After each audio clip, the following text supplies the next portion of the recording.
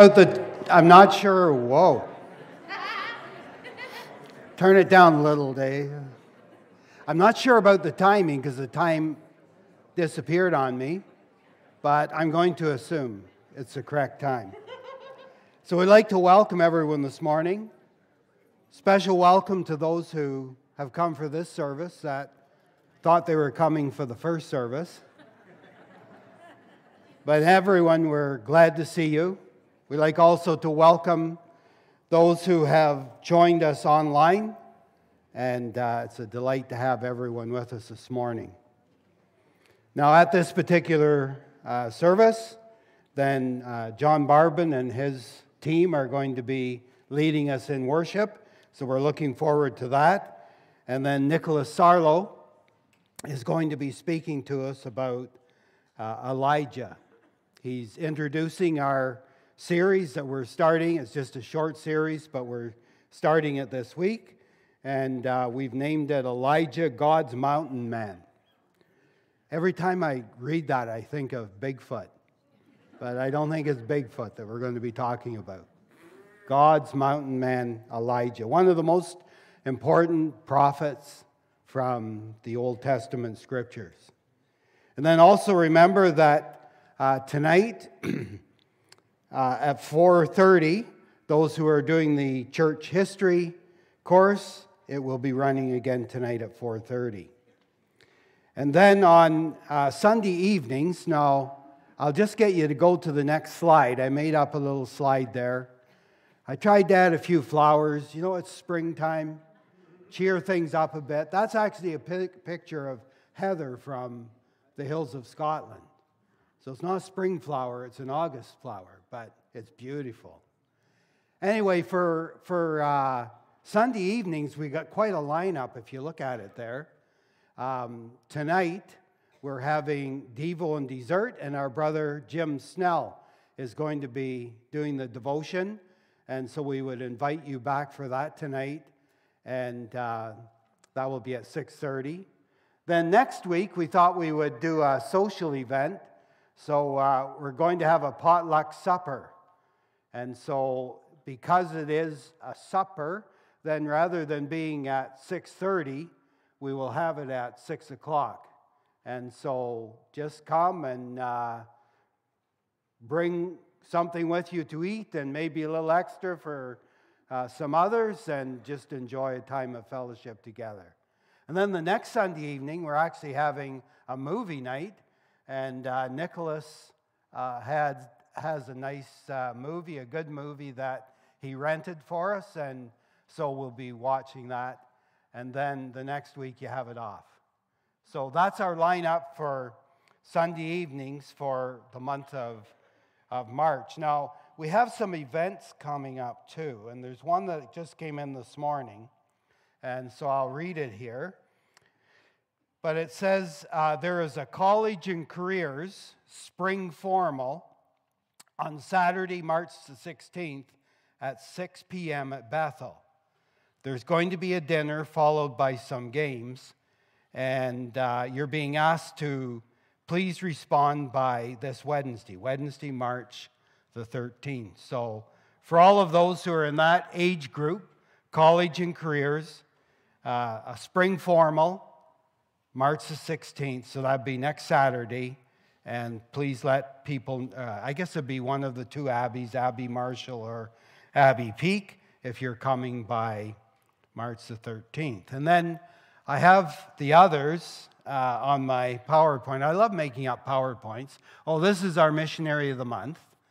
So, those of you who don't know Brad and Catherine uh, Dixon, they've been serving the Lord for nearly 40 years uh, in France.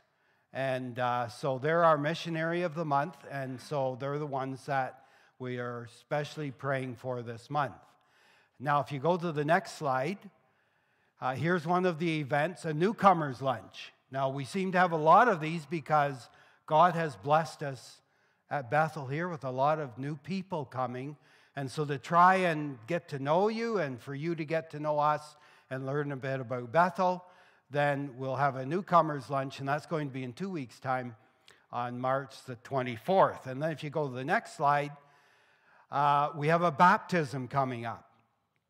And uh, this week we had someone else contact us desiring to be baptized, which we're, we're very thankful for. You know, this is something that's associated with salvation.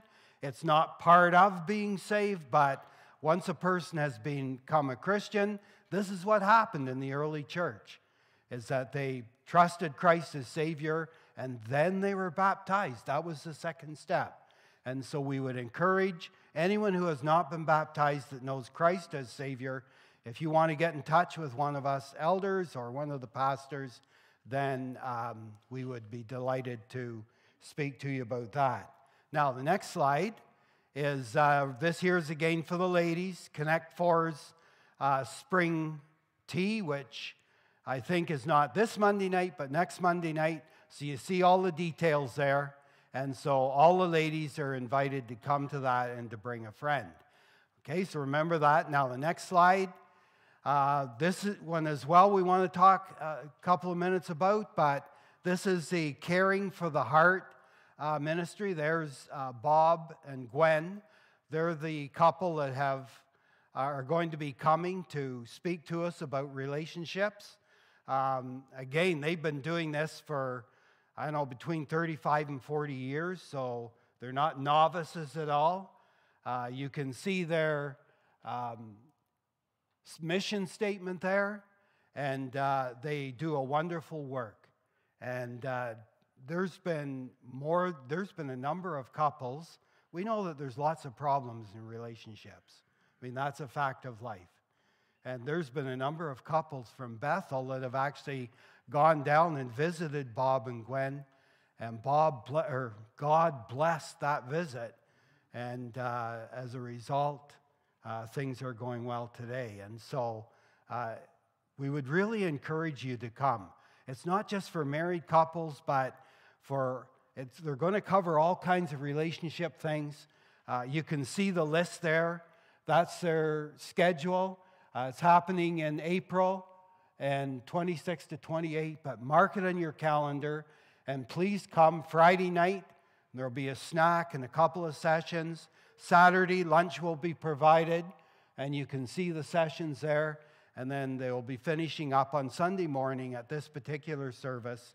And uh, all of those sessions, I'm sure you will find interesting and very helpful as far as living in 2024 is concerned. Okay, so that's coming up, and then we get a couple other things just very quickly. Next slide. Uh, Ladies' Spring Banquet. Now, I know that this used to be called the coffee hour, and Joyce told me last week it was called something else, and then by this week I had to guess. So, this is the old coffee hour uh, banquet. So, we'll call it the Ladies' Spring Banquet, and notice the nice cherry blossoms there, again, to help cheer you up today that spring is here, flowers are coming, and God is good to us all the time. And so that's another event to keep in mind. I believe that's all the events. So uh, we're going to move on then to um, prayer requests. And we have a number of prayer requests. Uh, one that Ruth mentioned to us in the first service, and that is we need to pray for Diane Kells. And we should also pray for Jim her husband, but especially for Diane, who has been in the hospital for some time, and yet there has been some progress this week, which we're thankful for, but she still needs the Lord's blessing. We need to pray as well for Joe and Louise Bello. Uh, Joe had uh, a rough time this week, and things really didn't look all that good at one point, but uh, he is, God has brought him around, and we're thankful for that, but we need to continue to pray for Joe and Louise.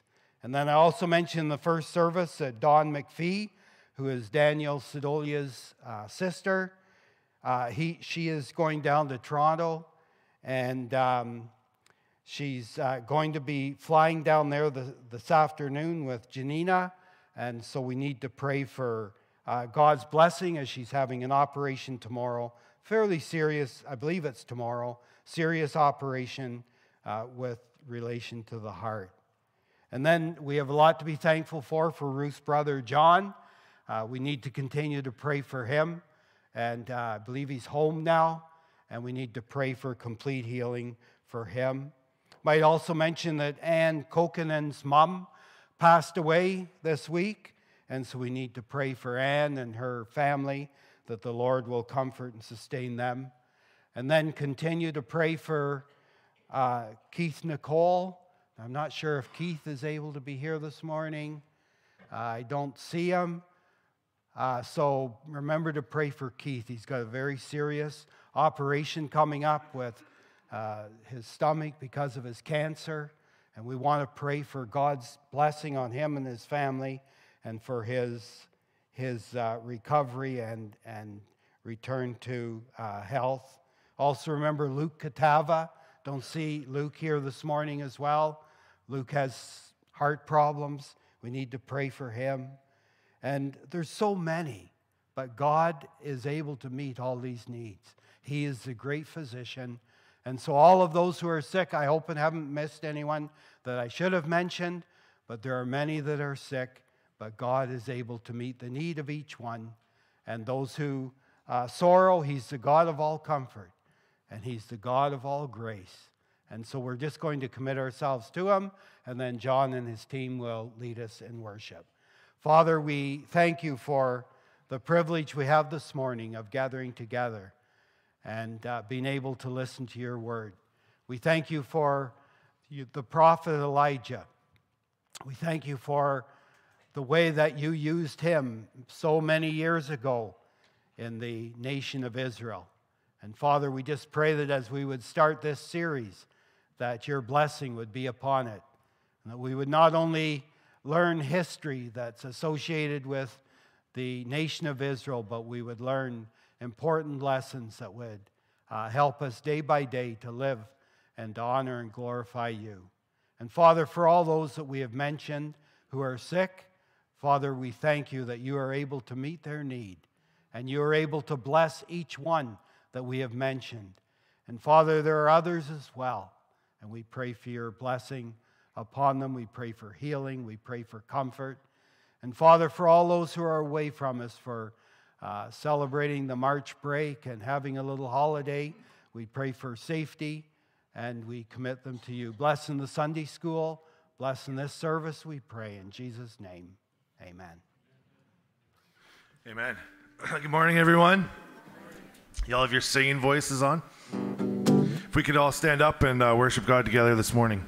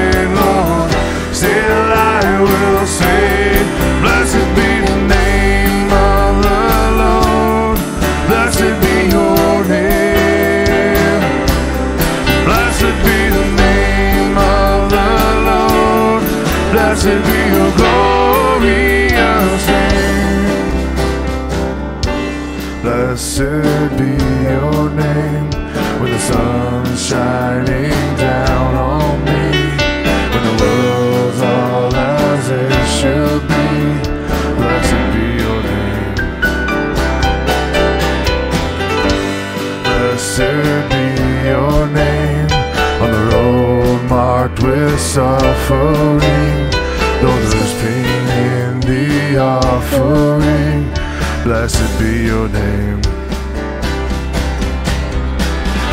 Every blessing you pour out, I'll turn back to praise. When the darkness closes in, Lord, still I will say, Blessed be the name of the Lord, blessed be your name. Blessed be the name of the Lord, blessed be your glorious name. You give and take away. You give and take away. My heart will choose to say, Oh, blessed be your name. You give and take away. You give and take away. My heart will choose to say, Oh, blessed be your name. Every blessing you pour out, I'll turn back to praise. When the darkness closes in, Lord, still I will say, Blessed be the name of the Lord, blessed be your name. Blessed be the name of the Lord, blessed be your glorious name. Blessed be the name of the Lord, blessed be your name.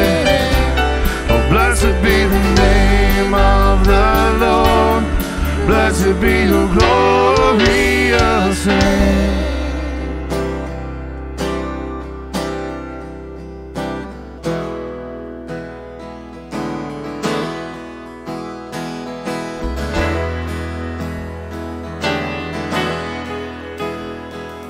How lovely is your dwelling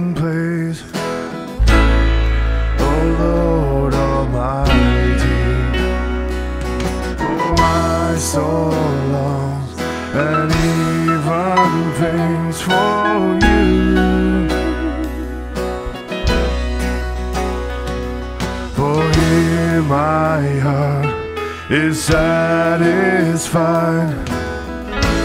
within your presence. I sing beneath the shadow of your wings.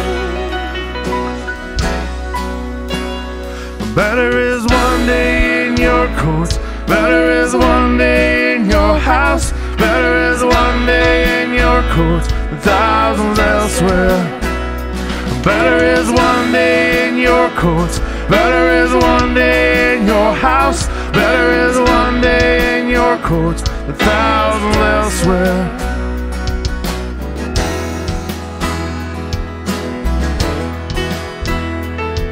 One thing I ask, and I will seek to see your beauty to find you in the place your glory dwells.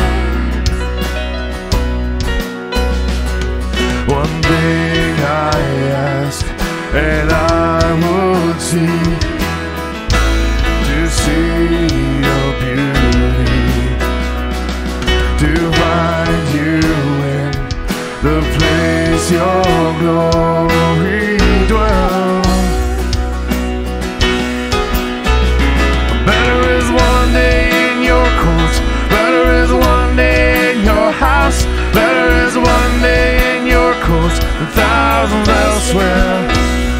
Better is one day in your courts. Better is one day in your house. Better is one day in your courts than thousands elsewhere.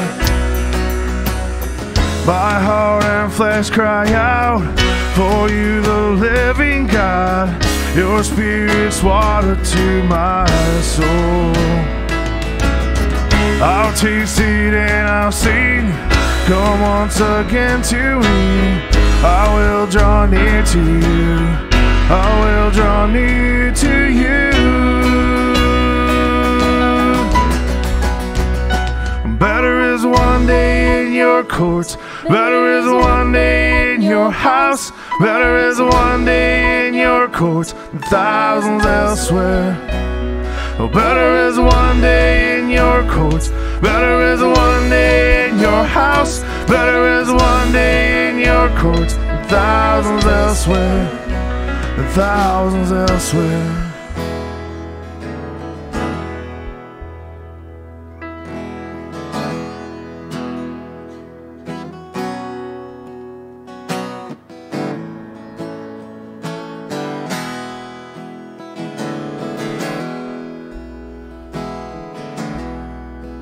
Come thou fount of every blessing, tune thy heart to sing thy grace. Streams of mercy never ceasing, call for songs of loudest praise.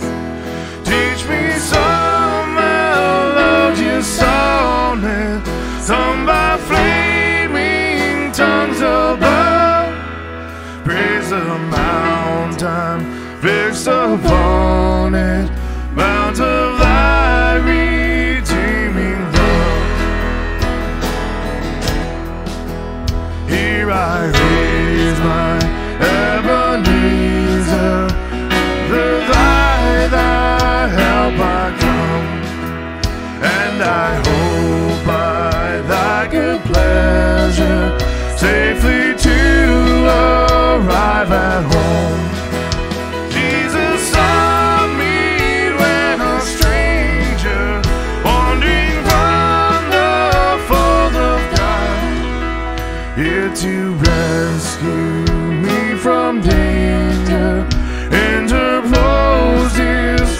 precious blood.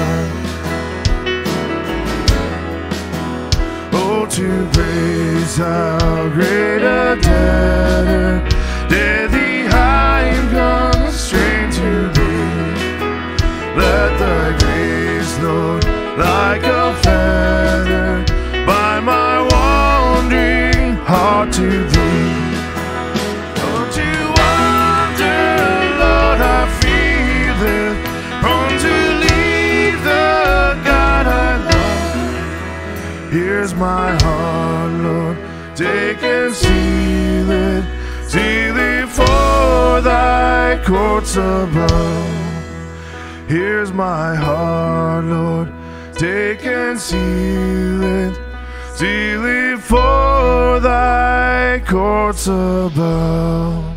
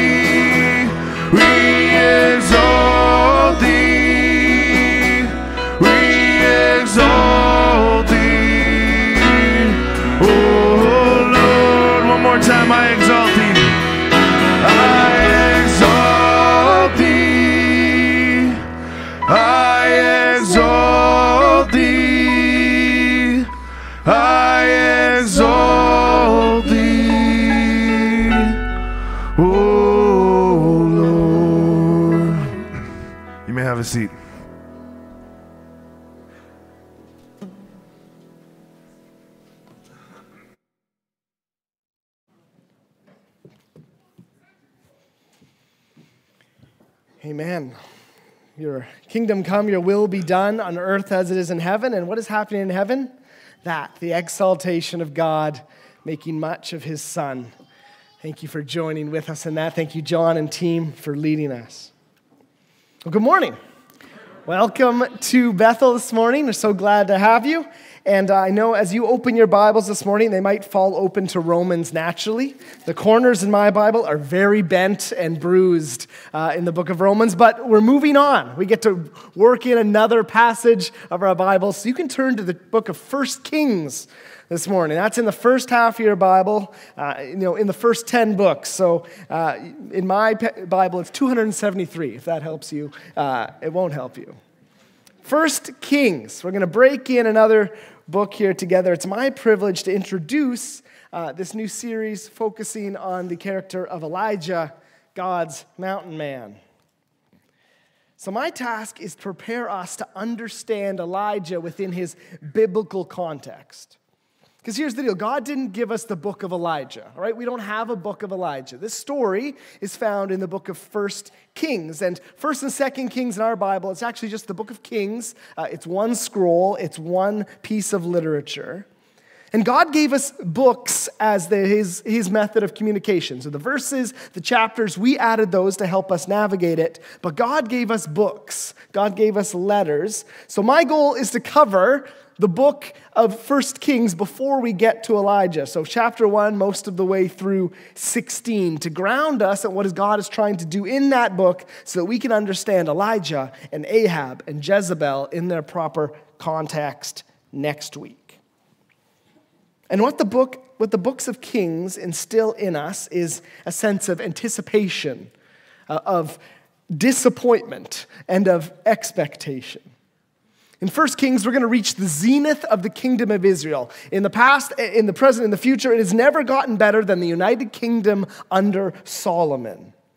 But by the end of the book of Kings, the kingdom is divided and fallen, and both Israel and Judah, now two separate nations, are exiled in Assyria and Babylon. So, what happens in this, this great high point and the deepest low point. The books of the kings and the story of Elijah, they leave us wanting. They leave us needing a better king, a better priest, a better prophet. Of course, is Jesus Christ, the Son of God Himself. So we're going to start how we always start. We're going to read God's word. Let's read 1 Kings 1 1, and we'll read through to 1628. How does that sound? Oh, you guys listened. I thought I might get that past you without you hearing it. No, I won't do that to you. That's a pastoral practical joke. That's what we call those. We are going to read sections of First Kings. We're not going to get to read the whole thing, but I would encourage you read it on your own this week over the next little while. Ground yourself in this story so that as we hear Elijah, you're not going, "Oh, this is a separate event." It's part of God's redemptive history. First Kings 1:1 says this. Now, King David was old and advanced in years. And although they covered him with clothes, he could not get warm. So let's, let's, let's commit our time to the Lord in prayer. Lord, thank you for these records, the joys in them, the victories in them, the trials in them, the challenges in them. I ask you would convict us of our sin and you'd present your Son Christ before us as something better, something perfect than anything we can create without you. The gift of grace is beyond our comprehension and, and speak through me and to us as we consider these things. And I ask as we consider Elijah that we would long to hear that voice again of, of the way of the Lord is prepared and you would return and come back to bring us home, Lord.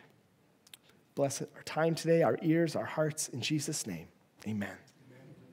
So, that first verse of 1 Kings, this gives us the first piece of information we need to know about the books of Kings. All right? Um, the first piece of information is the rise and then subsequent fall of the monarchy, the kingship in Israel. So, the first thing I want to look at is that the story of the king, kings leaves us expecting a better king. A better king.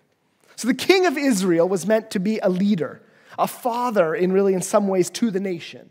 His role was to steep himself in the word of God and the worship of God, and therefore adjudicate and model that to the nation. And the book of Kings reveals the success, the temporary success, but the ultimate failure of really all earthly rulers, leaving us eager for the perfect lordship of Jesus Christ. But we start here in 1 Kings 1 1, and let's talk about David. How did we get to David? So, the first rumblings of, of kingship are really found in, in the Garden of Eden. If you hear me preach enough, you, you won't, it's not a surprise, I'll go back to Genesis 1, 2, or 3 at the beginning of a sermon. So, God creates this world, He places the man in the garden, and He gives the man dominion and authority and rule over creation. Adam is the first king of the world, set by God to adjudicate His creation and Eve is given to him as his queen. But the king and the queen rebel, and death and sin enter God's kingdom. But Genesis 3:15, God says to the serpent, I will put enmity between you and the woman, between your offspring and her offspring. You shall bruise his head, he shall bruise your head, and you shall bruise his heel. So, there, in the midst of the greatest failure of mankind, we're given the image of a conqueror, a hero, a king who's going to crush the serpent's head. We're looking for one person who is going to come and be victorious like a king should. And the Old Testament is this anticipation of this kingly character. But after this promise, the only kings we see for a while are really kings of the sons of the serpent. So the pagan nations, the evil people of Noah's day, the Canaanite kings, and one king in particular who actually puts a snake crown on his head, Pharaoh, king of Egypt. Generally, kings in the first part of the Old Testament are the villains of the story. They're the bad guys. But then at the end of Genesis, Jacob, Israel, blesses his sons, and he makes this statement about his son Judah as a prophecy. The scepter shall not depart from Judah, nor the ruler's staff from between his feet until tribute comes to him, and to him shall be the obedience of the peoples. So there's a king, one who will wield a scepter that will come from Judah's line. And then, after the enslavement, the salvation, the wanderings of Israel in the book of Exodus, they get to the edge of the promised land, and God gives this word to Moses in Deuteronomy 17. And it's worth reading. So, if you have a Bible, please turn to Deuteronomy 17, starting in verse 14.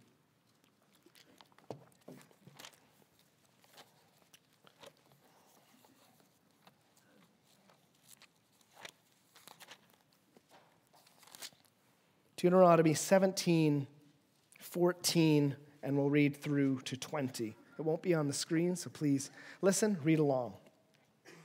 When you come to the land that the Lord your God is giving you, and you possess it and dwell in it, and then say, I will set a king over me, like the nations that are around me, you may indeed set a king over you, whom the Lord your God will choose. One from among your brothers you shall set as king over you. You may not put a foreigner over you who is not your brother only he must not acquire many horses for himself, or cause the people to return to Egypt in order to acquire many horses, since the Lord has said to you, You shall never return that way again. He shall not acquire many wives for himself, lest his heart turn away, nor shall he acquire for himself excessive silver and gold. And when he sits on the throne of his kingdom, he shall write for himself in a book of a, the copy of this law, approved by the Levitical priests, and it shall be with him, and he shall read it all the days of his life that he may learn to learn to fear the Lord his God by keeping all the words of this law and these statutes and doing them. that his heart may not be lifted up above his brothers, that he may not turn aside from the commandment, either to the right hand or to the left, so that he may continue long in his kingdom and his children in Israel. So that passage needs to be ringing in our minds as we read the book of Kings. That is the passage that's going to define how we understand 1 Kings, 2 Kings. And actually, the books of Joshua, all the way through to the end of 2 Kings, can be read in, in terms of Deuteronomy.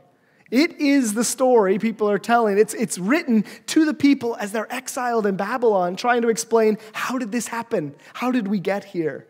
The book of Deuteronomy, contrasted with the history, tells the people why it happened. But back to the king, Israel. So Israel takes the land, conquers it, and there's, there's judges for a time, tribal leaders, regional heroes that are used by God to adjudicate and rescue Israel. And Samuel, books of 1st and 2nd Samuel, is the final judge of Israel. And the people ask Samuel, give us a king like the nations around us in 1 Samuel 8 5. Now, the desire for a king is not wrong. We just read that God said you could do that. But their motivation, so that we can be like the nations around us, was wrong. And God was displeased, but He gave them the king they wanted. And God gave them Saul. They asked for Saul, the first king. And Saul is basically a, picture of earthly rulers gone wrong in the worst way. The first time we're introduced to Saul, he's a son who can't keep track of his father's donkeys. And by the end, he's a king who can't keep his country safe. So God fulfills his promises from Deuteronomy, and he appoints a king after his own heart, his own choosing, David.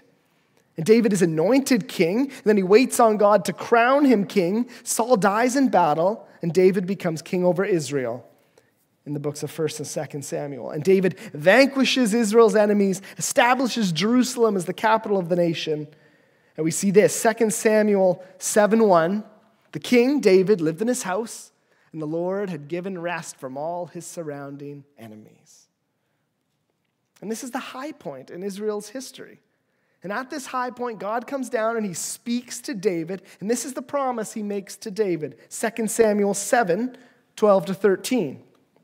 When your days are fulfilled and you lie down with your fathers, I will raise up your offspring after you, who shall come from your body, and I will establish his kingdom. He shall build a house for my name, and I will establish the throne of his kingdom forever. So God makes a covenant with David, a promise, just like he did with Abraham, to sustain his house and always place a son of David on the throne of Israel. But not only do we need to remind ourselves of, of the victories and glories of David as we come to 1 Kings, but we also need to be reminded of his, his failures. In 2 Samuel 11, David should be at war, but he's at home lounging on his couch, and he looks out the window and sees a woman bathing on the roof. Her name is Bathsheba. He sends for her, he sleeps with her, she gets pregnant. He can't convince her husband to neglect his duties and, and sleep with her, so he orchestrates his murder to cover up his sin. But God sees it all and judges David for his action. He says, The same sword you wielded against Uriah will now be wielded against your own house. And it cost David four children in consequence to his sin. And after this incident with Bathsheba, David really declines as a leader. He seems to lose his courage and moral backbone to confront things in his kingdom. So officials in his courts, like Joab, will run wild, and his sons, Abnon, Am, Amnon, and Absalom, they run wild and are both end up dead. And the seeds of disunity within the nation have been sown, and that carries into First Kings. So now we get back to 1 Kings 1 1. David is old and it's time for his son, Solomon, to become king. But they got to act fast because there's a couple other sons trying to vie for the position. So, some fancy political footwork, and David establishes Solomon as the heir and the new king of Israel. And Solomon is the son of Bathsheba. David then charges his son keep the charge of the Lord your God, walking in his ways, that you may prosper. He reminds Solomon of the promise God made to him. And then David dies the nation mourns the loss of their great king. And that's the end of Act 1 of 1 Kings. And then, starting in chapter 2, verse 13, we have the rise of Solomon. I'm going to turn back to 1 Kings so I can have it in front of me. So Solomon deals with some leftover issues, some people his father wasn't able to deal with, uh, and then establishes his kingdom. And then there's the famous passage where God shows up and says, What can I give you? And Solomon says, Give me wisdom to lead these people well. And God grants him that uh, request as long as well as riches and long life and victory because of his humble request. And Solomon rises in wealth and power and peace. And he begins his father's dream, the construction of the temple in Jerusalem. And it's a big deal. We're going to talk about that next. But Solomon's role as king takes the nation to the point where he can worship with this statement in 1 Kings 8:55. And this is huge. Blessed be the Lord who has given rest to his people Israel according to all that he promised. Not one word has failed of all his good promises, which he spoke by Moses, his servant.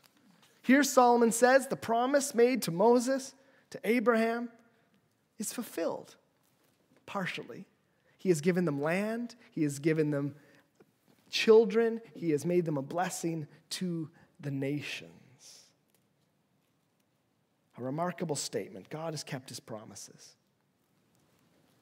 But then, we all, in the Bible, all good things must come to an end. And then reality and sin breaks through, and Solomon's rise becomes a free fall. And over the next few chapters, the author of this, this record in 1 Kings clearly compares God's commands in Deuteronomy to what we're seeing in Solomon's life. So if you look at 1 Kings 10 and 11, is where you can turn. Look at this. I made a little chart to compare the two verses here. So in Deuteronomy 17, it says, He, the king, must not acquire many horses. 1 Kings 10:26, Solomon gathered together chariots and horsemen. 17:16, do not trade with Egypt for horses. 1 Kings 10:28, Solomon imports horses from Egypt. 17:17, he shall not acquire for himself many wives, lest they turn his heart away. Solomon had 700 wives and 300 concubines and his wives turned away his heart. 1717, nor shall he acquire for himself excessive silver and gold. 1 Kings 10:23, Solomon excelled all the kings of the earth in riches. 1720, that his heart should not turn aside from the Lord. 1 Kings 11:4, his heart turned away to other gods. The author of 1 Kings is holding Deuteronomy in this hand, looking at Solomon in this hand and going, Yep, yep, yep, oh no. And God shows up again in 1 Kings chapter 11, 11 to 13. God says to Solomon, Because this has been your practice, and you have not kept my covenant and my statutes that I've commanded you, I will surely tear the kingdom from you and will give it to your servant. And I'll keep reading. Yet, for the sake of David your father, I will not do it in your days, but I will tear it out of the hand of your son. However, I will not tear away all the kingdom, but I will give you one tribe to your son for the sake of David, my servant, for the sake of Jerusalem that I have chosen. Very quickly, enemies rise up within Israel, which lead the nation to become divided. So rather than the 12 tribes of Israel being uh, well, 11, Levites didn't have a, province, but the, the 12 tribes being united under one king and calling themselves Israel, 10 of the tribes in the north joined Jeroboam, a man who God appointed to be their king, with their capital eventually becoming Samaria, the Good Samaritan, and the way they, they hated the Samaritans. This is where it starts. And two tribes, Judah and Benjamin in the south, keep the line of David as their king and establish Jerusalem as their capital. And starting at the end of chapter 11, this, this familiar rhythm of the book of Kings starts. And each king from here on will end their life with a statement like this 1 Kings 11, 41 to 43. I have it on the screen. Now, the rest of the acts of Solomon, all that he did, and all his wisdom, are they not written in the books of the acts of Solomon? In the time that Solomon reigned in Jerusalem over all Israel was 40 years, and Solomon slept with his fathers and was buried in the city of David his father, and Rehoboam his son reigned in his place. And the rest of the book is the account of the various kings of Israel and Judah overlapping, interacting. And our story, Elijah, will take place 50 years from now, 57 years from now, in the northern kingdom of Israel um, after the nation has split.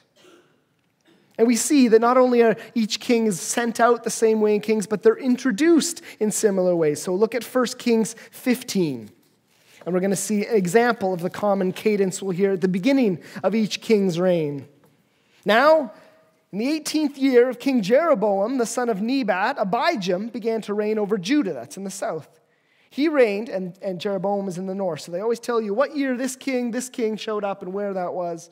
Abijam began to reign over Judah. He reigned for three years in Jerusalem.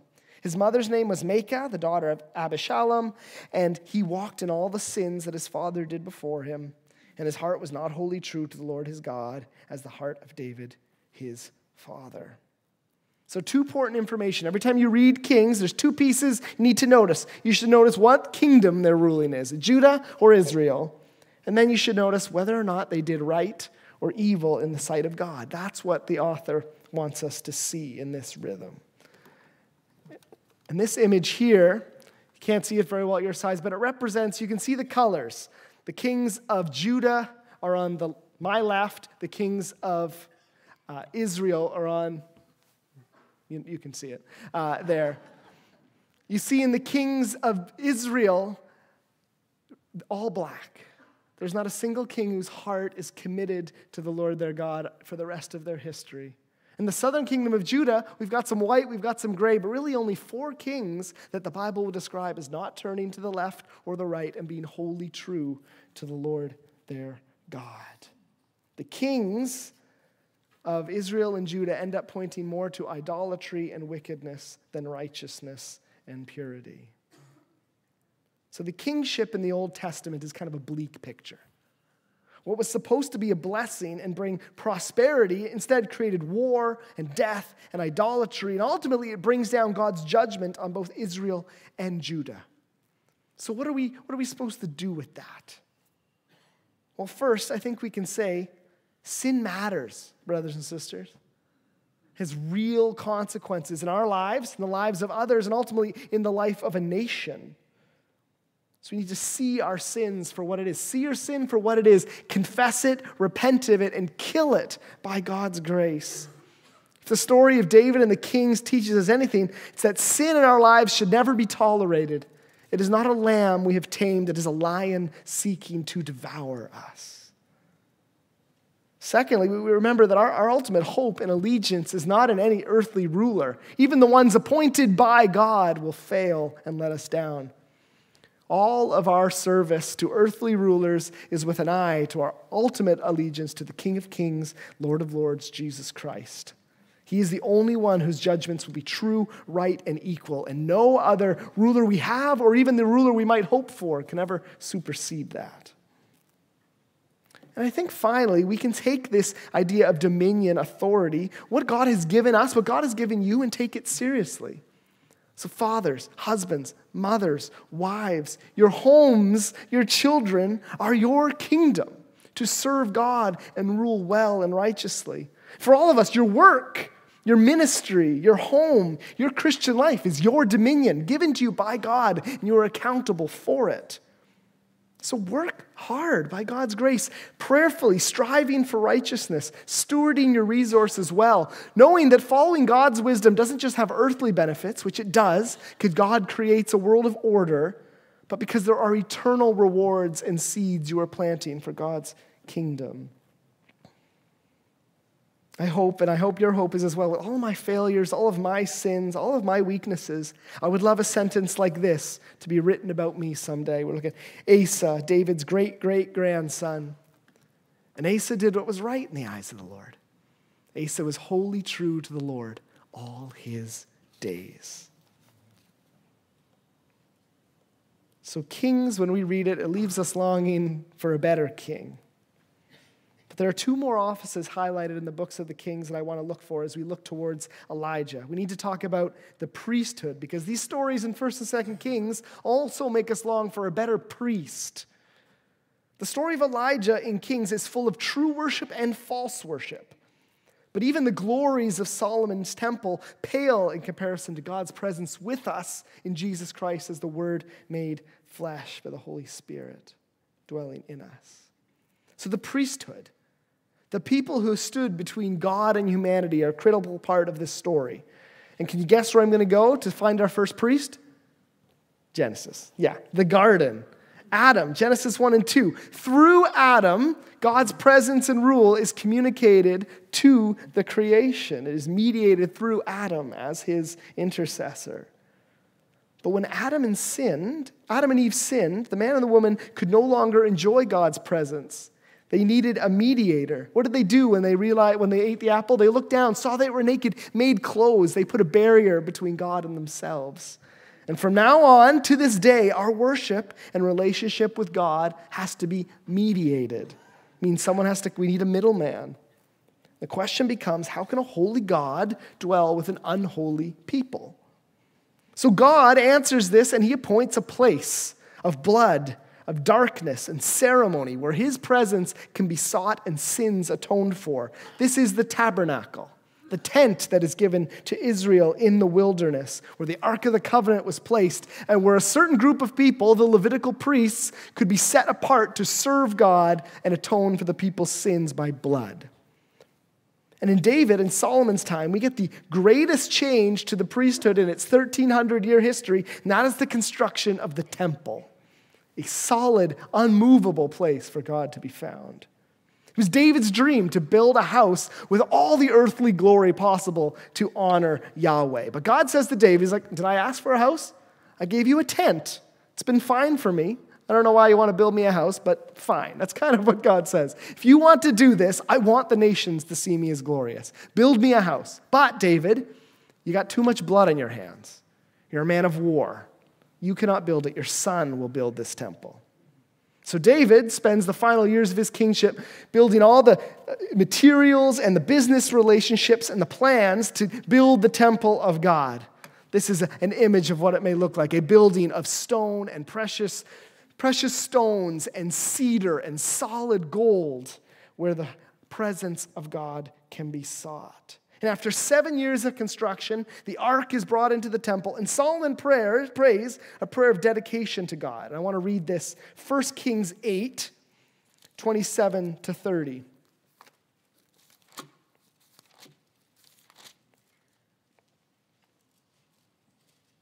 First Kings 8, 27 to 30.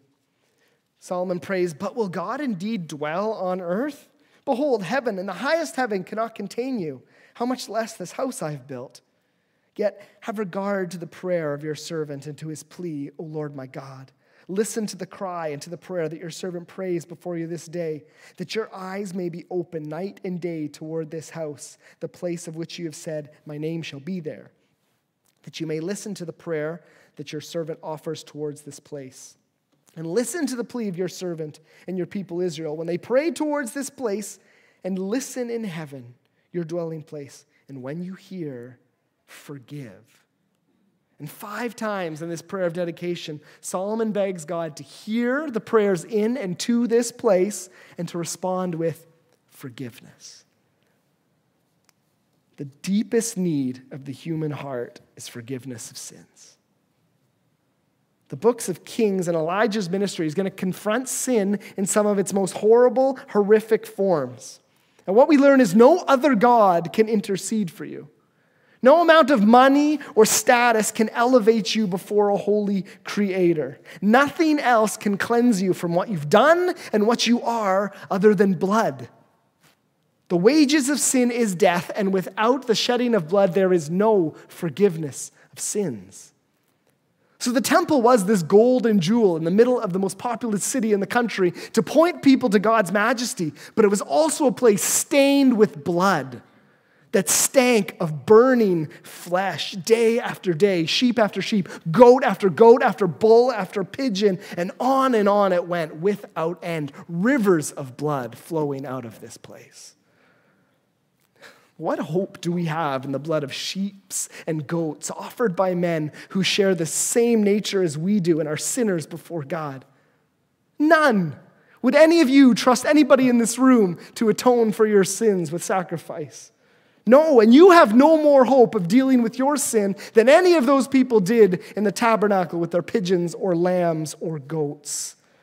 Not without the gift of God in Jesus Christ.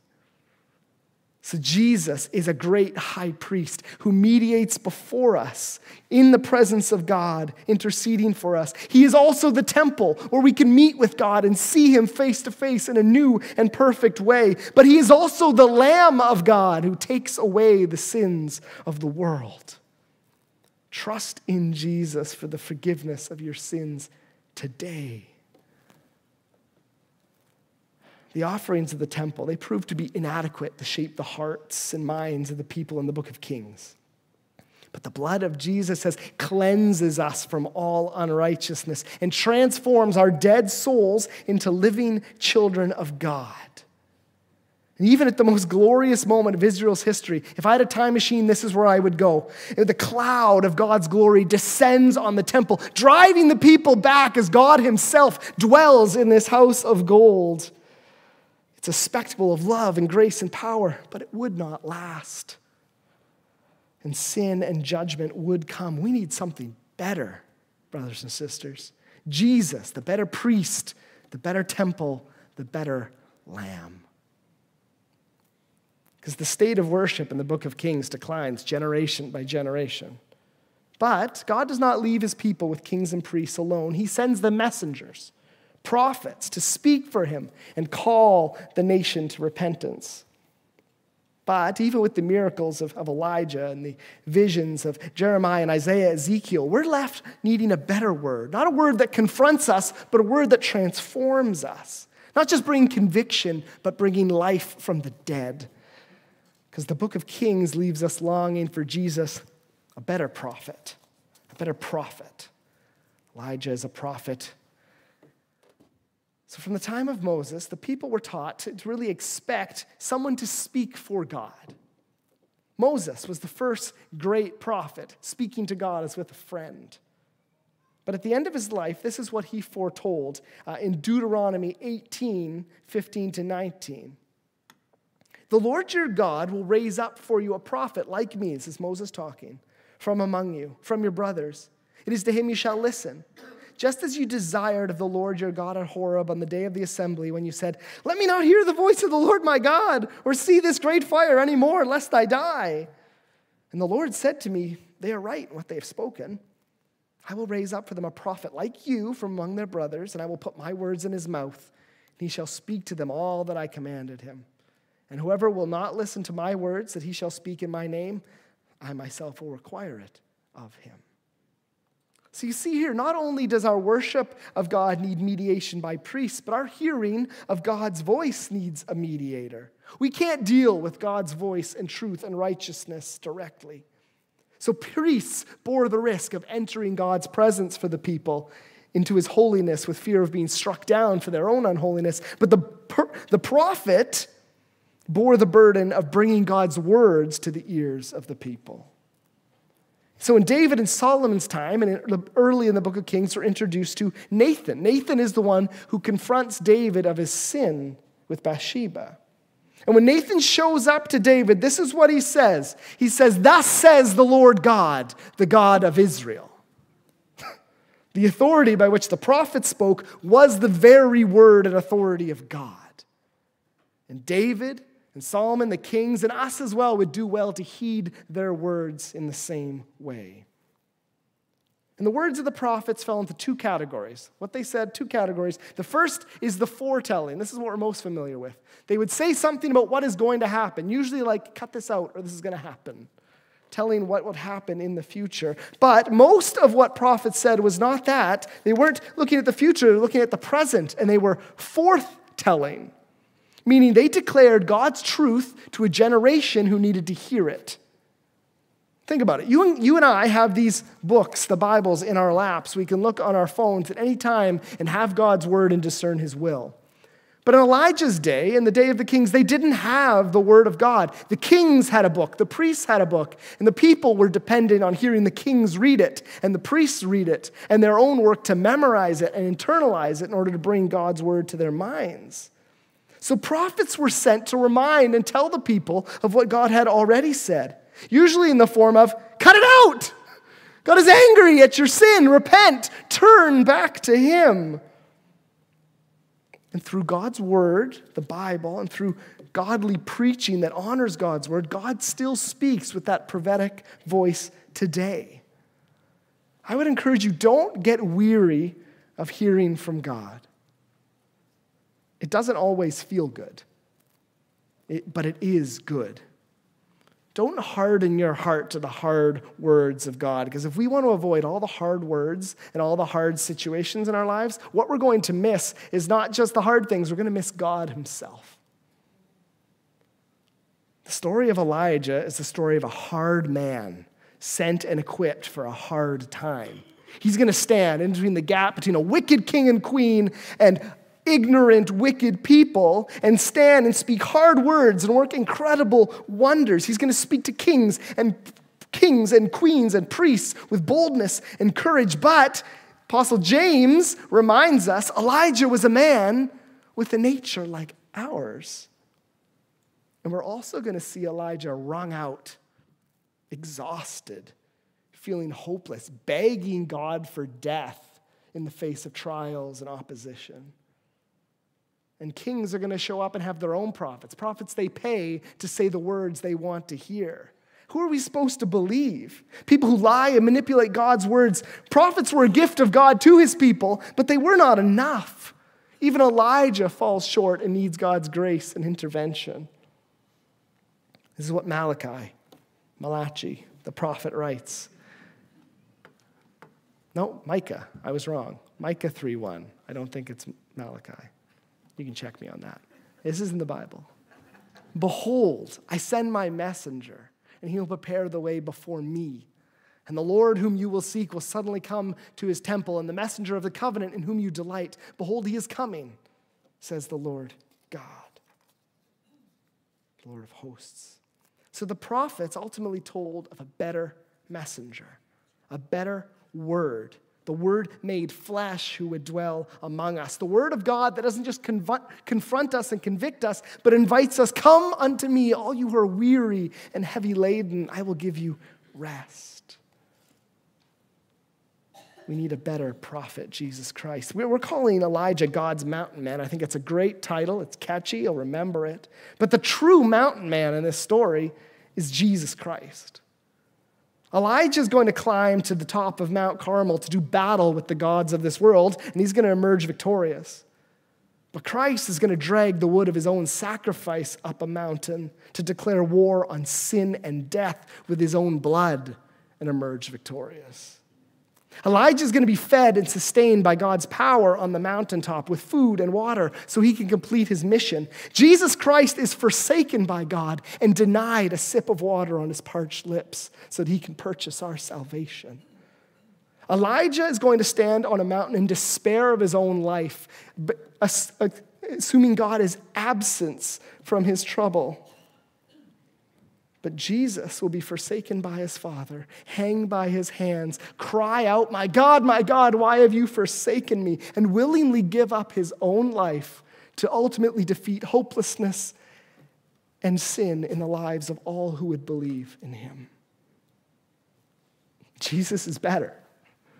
Jesus is perfect, the perfect king who leads his people with righteousness, equity, and power. He will never stray and never has to the left or to the right.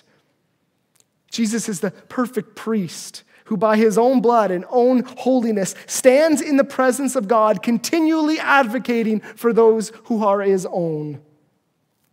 And Jesus is the perfect prophet. He speaks only what is true, what is good, what is beautiful, to convict and draw people to God. And His word doesn't just have power to confront, but to transform.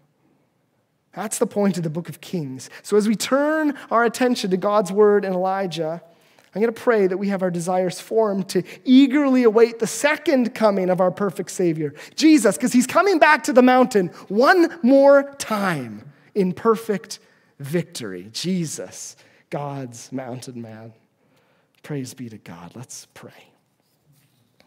Heavenly Father, you have told the story of history with your hand of love and grace and power and righteousness over it all. And thank you for this story that we can look at what you have done and be hopeful and confident in the future. Your faithfulness, Lord, is beyond our comprehension, beyond our understanding.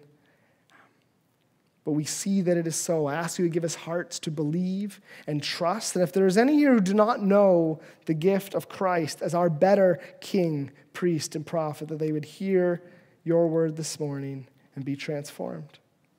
Bless us as we sing a closing song in worship of this God. Thank you for opening the gates of the Holy of Holies, tearing that curtain so we could stand here and our words and our worship and our affection can come directly before your throne and please you, Lord. Hear us and fill our hearts with your spirit and joy. I pray this in Jesus' name. Amen.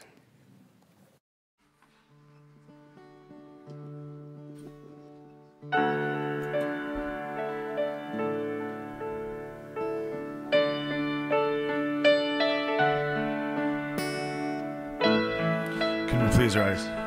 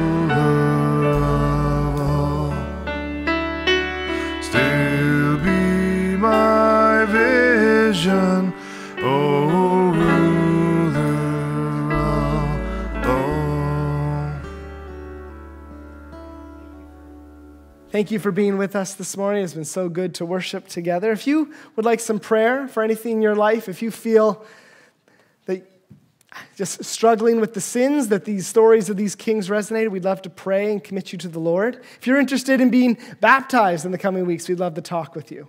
Um, there's also still room in our church history class tonight. Esther made extra binders in faith, knowing that some of you would love to join us. So 4:30, if you're free to join, we just started. We're only one week in, so there's, there's room for you. But let me close with these words from 1 Thessalonians 5:23. Now may the God of peace himself sanctify you completely. May your whole spirit and soul and body be kept blameless at the coming of our Lord Jesus Christ. He who calls you is faithful. He will surely do it. Amen. Go in peace.